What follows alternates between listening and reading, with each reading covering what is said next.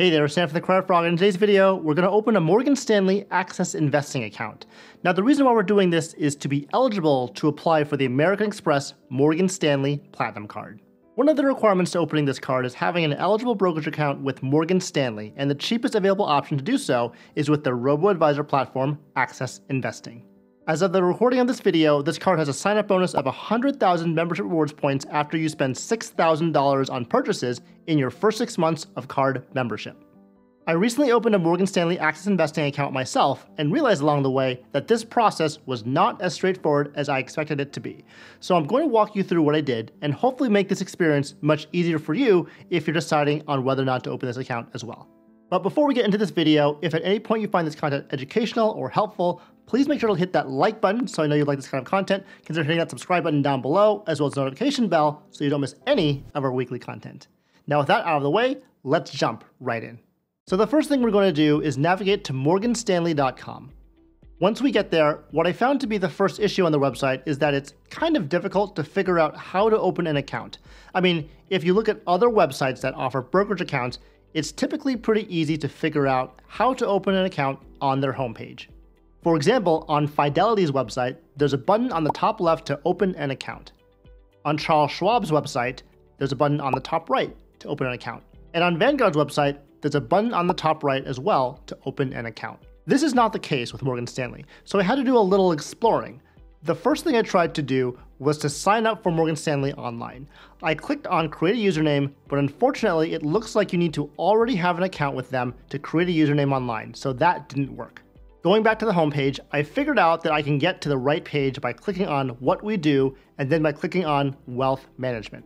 Then I can scroll down the page where I can see what my options are to open an account. You can see from the screen that the only two options that you can do online are to open a self-directed E-Trade account or an automated access investing account.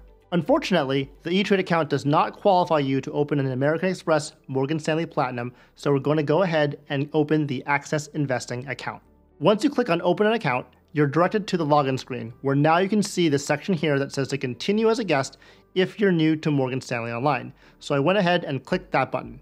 The Access Investing platform will guide you through several steps to create your account, starting with why you want to invest.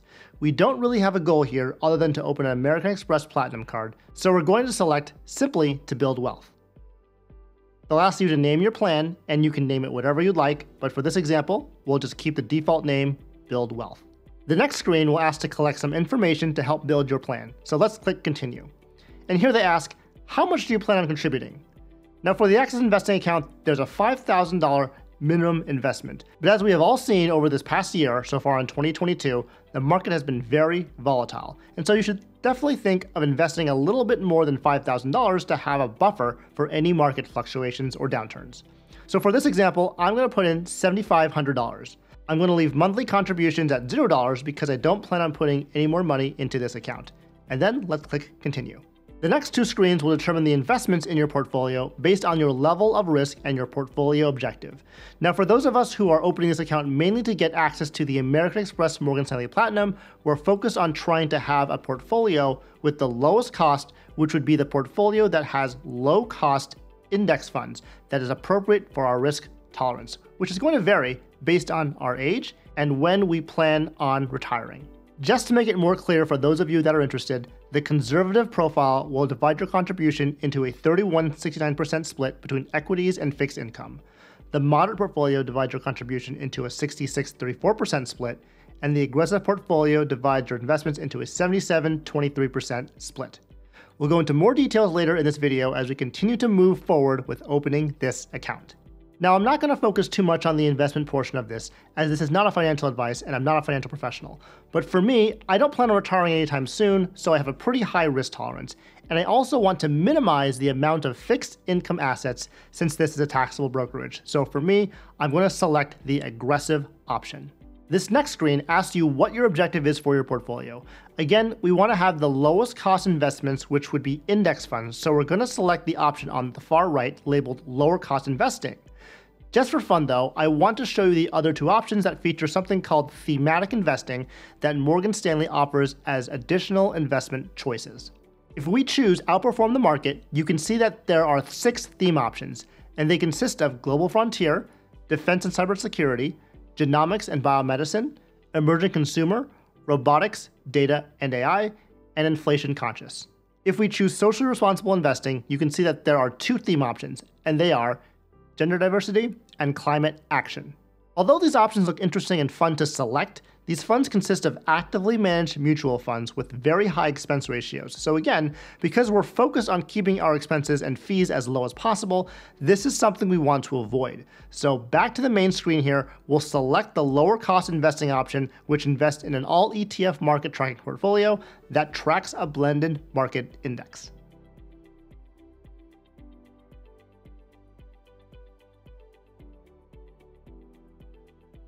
So as you can see, the aggressive portfolio has a 77% split to equities and a 23% split to fixed income. What you can also do is click on the button that says full model details and see which exact ETFs you'll be investing in.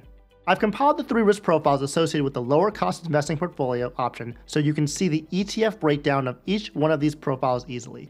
I'll display them one at a time on the screen, going from the conservative risk profile to moderate to the aggressive risk profile, and then we'll come back and finish opening the account. Okay, here we go.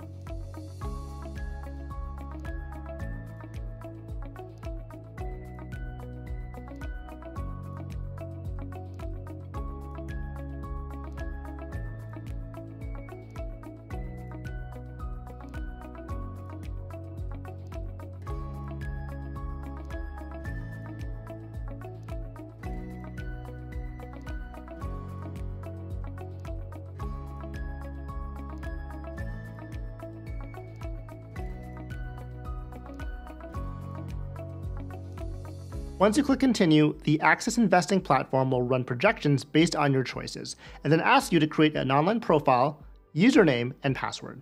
Once you register your account, you'll have to upload identification documents to complete the account opening process.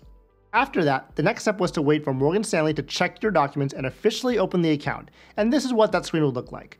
Now keep in mind, at this point, they haven't required any deposit from you yet, even though you indicated that earlier what the initial deposit was going to be.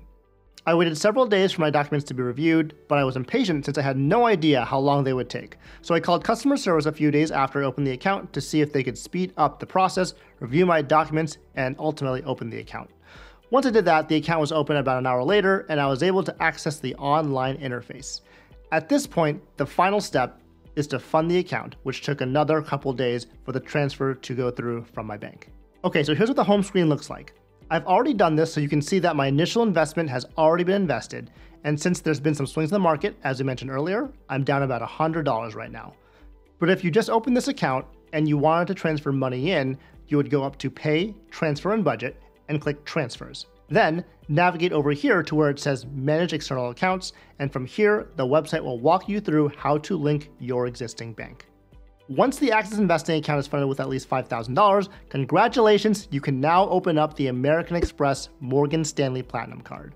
The benefits of this card as compared to the classic American Express Platinum card would be the new sign up bonus if you haven't had this card already, as well as getting a free authorized user, which would normally cost $175 per year. Also, you have the opportunity to qualify for an engagement bonus of $695 per year if you also decide to open up a Platinum Cash Plus account with Morgan Stanley. There are more details and requirements regarding this, so I'll definitely cover that in a more detailed video in the future. All right, so I hope that this was helpful for you if you wanted to open up a Morgan Stanley Access Investing account. This is not necessarily the best account to open given how complicated it is to set up, as well as the 0.3% advisory fee for a robo-advisor platform. But if you want to get the American Express Morgan Stanley Platinum card, this would be the easiest and most cost-effective way to get there. So what are your thoughts about this account? Do you think it's worth opening this account to get the Morgan Stanley Platinum card? Let me know in the comments below. And if you haven't already, make sure to check out our previous video that I did that goes into detail about whether or not the American Express Morgan Stanley Platinum card is right for you. I'll leave a link to that video as a card up on the top right, as well as on the end screen to help you get there. As always, have a great one, and I'll see you in the next video.